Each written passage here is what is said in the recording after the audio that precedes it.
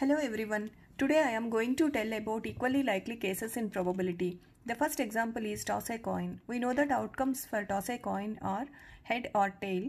So total outcomes here are 2. So probability of getting head is equal to 1 by 2 and probability of getting tail is equal to 1 by 2.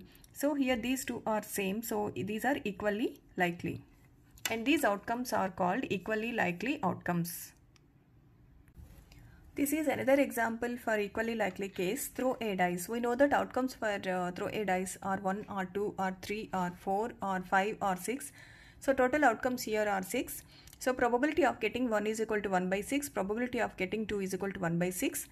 So on probability of getting 6 is equal to 1 by 6. So these are equally likely.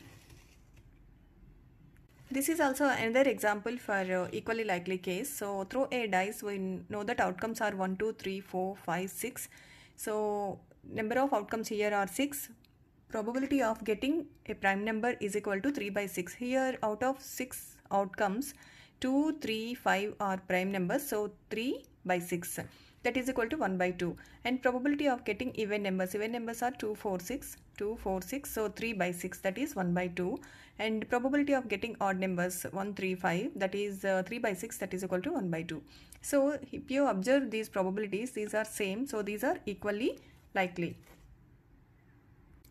If you observe this example probability of getting a prime number is equal to 3 by 6 because out of 6 outcomes 3 prime numbers are there. So 3 by 6 that is equal to 1 by 2 and probability of getting greater than 5 out of uh, 6 outcomes greater than 5 is only one number 6 so only one number means one outcome so 1 by 6 so here these probabilities are not equal. So these are not equally likely